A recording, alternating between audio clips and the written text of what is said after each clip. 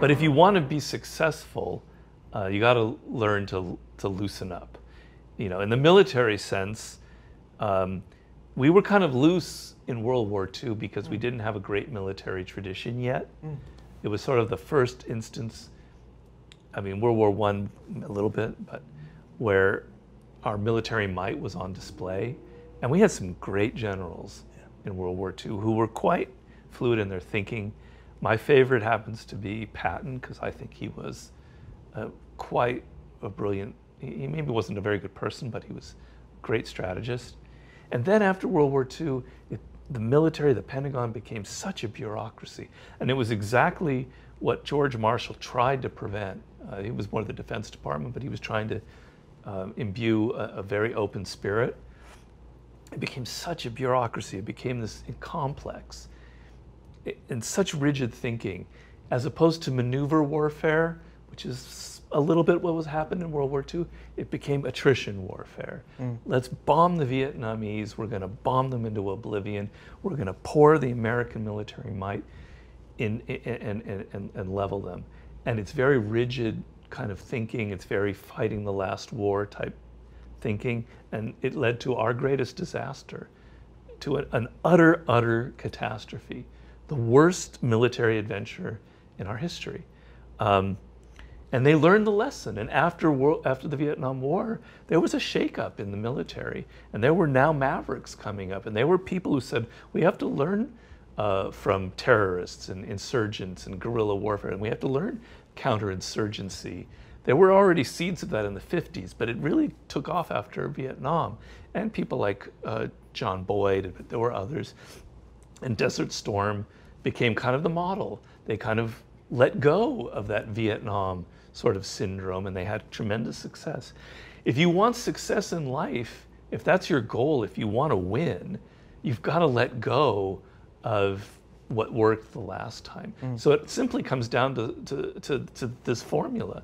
Do you really want to win? Mm. If you really want to win, if you're not bullshitting, if you're not trying to act like you want to win, but you're just all into the attention and the ego, then go ahead and use the strategy that worked a year ago and think that it will work again because your ego is tied to that. You think that that strategy that worked a year ago was because I'm brilliant.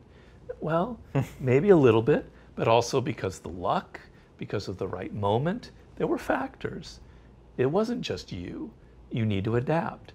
So your ego intervenes and you think, I've got to do what I did last time because that means I'm great. And to try something else means maybe I'm not so great. That means you're not really into winning. If you really want to win, if you really want to be successful, you have to be in the moment. You have to look at the circumstances. No two battles are the same. Yes, there are similarities. Yes, Hannibal's defeat of the Romans at Cannae has bears some similarities to some of the uh, uh, counterattack strategies that were used in in World War II, or I don't know exactly what, the, but there, there are some parallels. But it's never the same, right? The technology is different. It's never the same. Every war is different. Every battle in life is different. That doesn't mean you let go of everything you believe in. Maybe the last strategy will work, but you want to do. You want to face a new situation. Let's say you start a job. All right, it's a new battle. My new job is a new battle. And you're going to refresh yourself like you hit that refresh button on the computer. I'm starting over. I'm letting go of my preconceptions. I'm in the moment.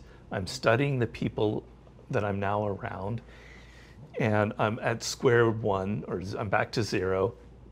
And i'm going to reassess and, and fight from that position. When i write a book each book i go back to zero. I tell myself robert you're actually a terrible writer this is going to be your worst book. This book is going to suck.